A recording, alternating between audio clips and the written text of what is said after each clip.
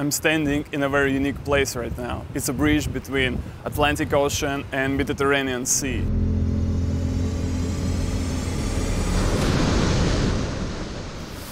This bridge is official deviation point uh, between two of them and it's in Tarifa.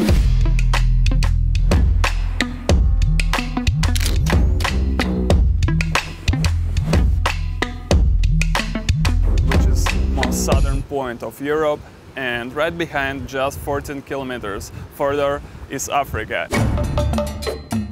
It's quite windy here almost every day.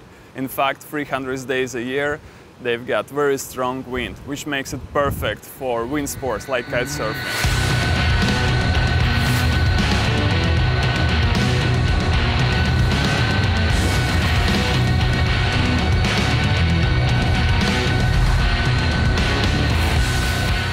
Tarifa is not only perfect for kite surfing, it's also one of the main migrating routes for birds.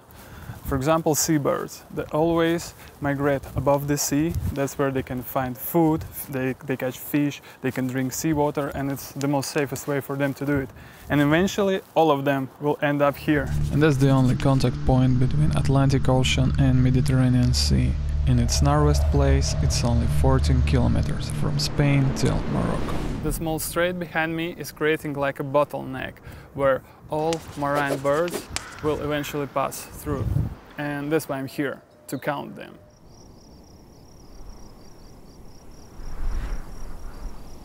I'm staying here and that's old uh, military base. You can see the checkpoint still here. But now it all belongs to the scientists. This is Bartolo, and he's been shot in his left wing. Unfortunately, he cannot fly anymore. Right now, he's living at the base, and the guy is taking good care of him. Here are living rooms, offices, and communal area. So as you can see, here's the table for meeting, eating, uh, fridges, and kitchen. Yep. And there's a guitar.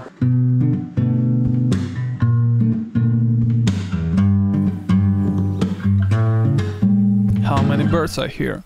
So, the best way to count is to divide them in a chunk of tenths, and then you can get approximate number. I had to go through the training, there are special program for that, and you can try it yourself. How many birds are here?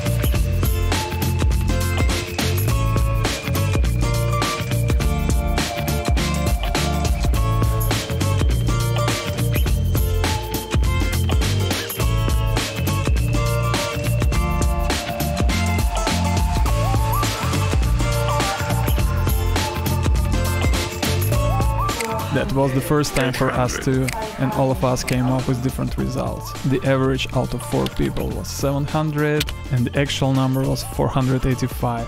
It's 44% error, which is quite bad, so we had to practice way more until we get into the 10% of error. Why count birds? It's a good question. In fact, the fluctuation of size of population of birds can tell a lot of different things to us. For example, the marine species of birds declining and humans don't hunt for them that means that problem is somewhere down the line. So that could be environment uh, that could be pollution or declining of fish the food these particular birds rely on. Then you look why is fish population declining? Is it overfishing? Is it pollution? And so forth. We started to count birds because we are interested to know the impact of the human activities on nature. Population of seabirds had declined by 70% over the last 70 years. Most common issues are overfishing, bycatch and obstacles in the middle of the sea. That's the birds we're gonna count to understand why they are declining and what can we do about it.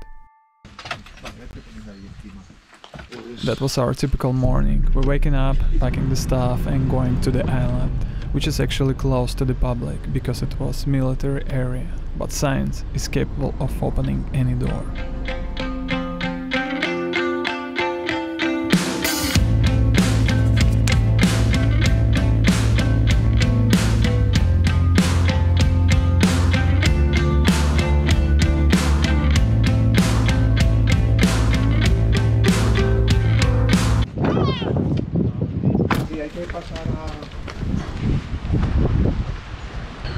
Our watching point to see the birds down there.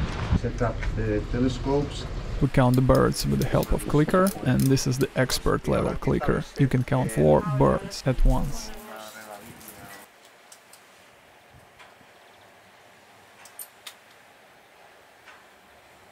We start. Uh-huh. Ready? Go. We usually count it for 10 minutes and then compare the results to get the average number. I've got 136. Whoa, yes. same. 144. 137. Okay. 121. 104, 102. 102, 96. 84. Bird migration depends on wind and today we've got wind coming from Atlantic side. It's not uh, really good for the birds we're counting. They have to fly against the wind. It's similar like swimming against the stream. But we have other birds which actually use that the same direction this wind. So every day is a bit different. And also we can add any additional data about the birds we've seen. Today is intense. We've got some extra people. Other days there was 2000 of shearwaters in the whole day and today it's like 2000 in 10 minutes.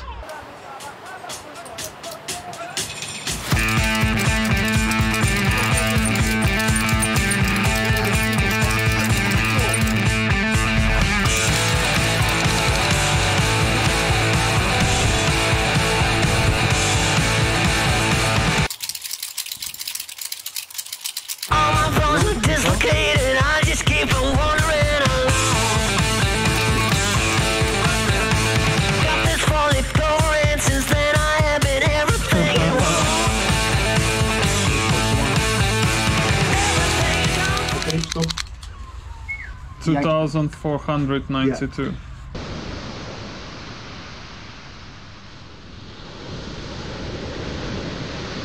Because Tarif is so close to Morocco, a lot of refugees try to cross this channel and I just found a boat here, look. Life West. It's not known if the boat got here safely or it was uh, drowned and uh, just came here on shore. Who knows?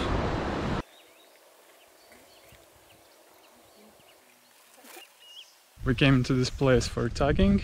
It's an agricultural area with a lot of cotton fields around and also bushes and one small artificially made channel. There's like flock of storks and yeah, very good place for birds. Here are the mist nets. We put those nets to catch very small birds, uh, to tag them, check their health and uh, record the data and then release them back. So that's how they trapped into the nets.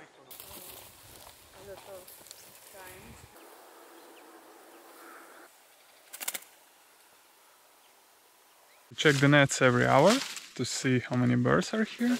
And then we take them to the tagging point. In the morning there were way more birds and now every hour we check there are less and less birds. There are different types of rings depending on the size of bird.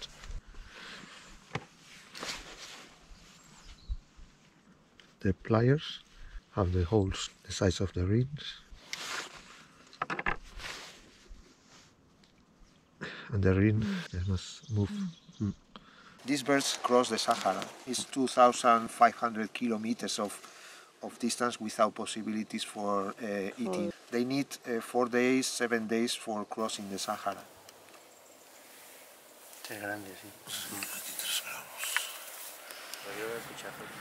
Sí, este es un joven macho.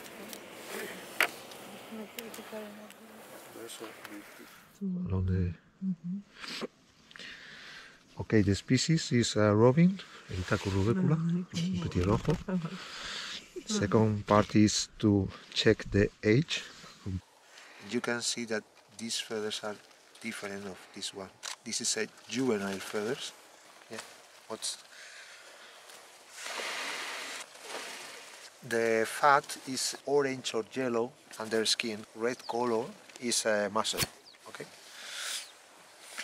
These birds are coming from Germany or France or even uh, farther more north.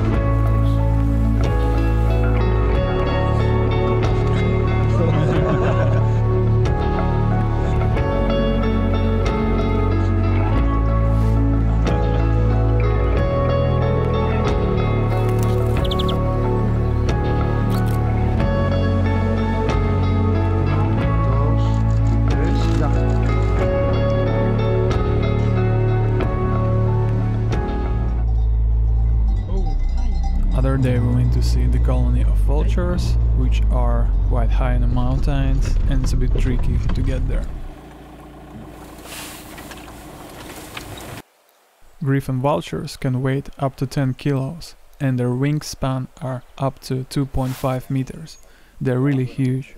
Here's about 70. Yeah, and And another 75 here. And in the middle there is Egyptian vulture. Uh-huh. The Egyptian vulture is near extinction. There are only 22 pairs left in Andalusia.